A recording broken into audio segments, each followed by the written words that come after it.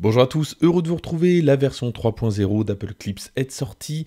On va voir dans cette vidéo quelles sont les nouveautés. Puis pour ceux qui ne connaîtraient pas encore l'application, c'est une application de montage euh, vidéo pour les réseaux sociaux créée par Apple, distribuée gratuitement par Apple. Et objectivement, euh, je vois pas quand même grand monde utiliser euh, l'application Clip pour faire des montages vidéo sur les réseaux sociaux. Dites-moi si je me trompe.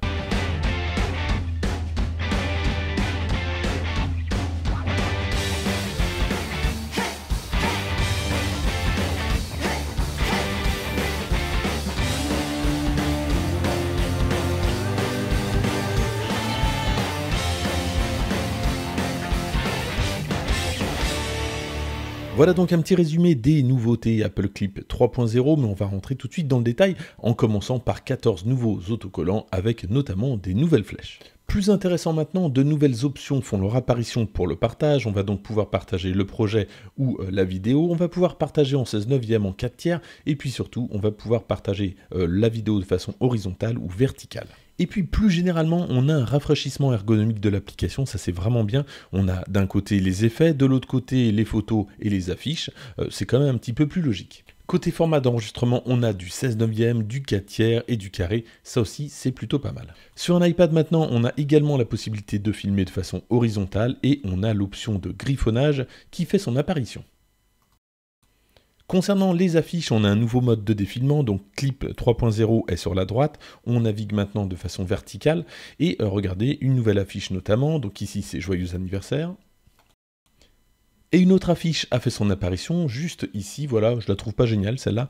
Et sachez quand même qu'il y a d'autres affiches qui ont été un petit peu modifiées avec des teintes un petit peu différentes. Et puis autre nouveauté, ça concerne le HDR, alors uniquement pour les iPhones compatibles, c'est-à-dire à partir de l'iPhone 8, on va pouvoir exporter, gérer, modifier les fichiers en HDR.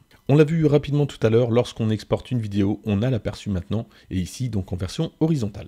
25 nouvelles bandes son font leur apparition, on les remarque facilement avec le petit point, et euh, comme pour euh, les précédentes, on va pouvoir les ajuster automatiquement au clip.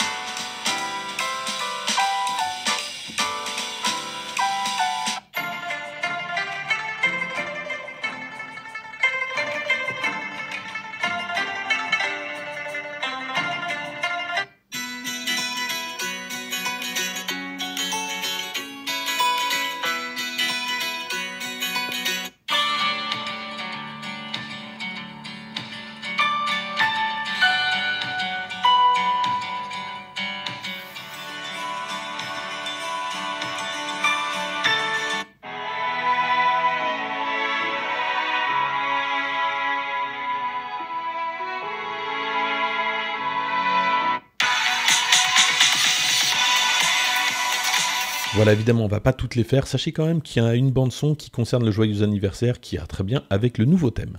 Voilà donc pour cette présentation d'Apple Clip 3.0. Alors je trouve qu'il y a pas mal d'avancées par rapport à la version du mois d'avril, c'était la dernière version, notamment en ergonomie, côté euh, présentation c'est quand même plus propre.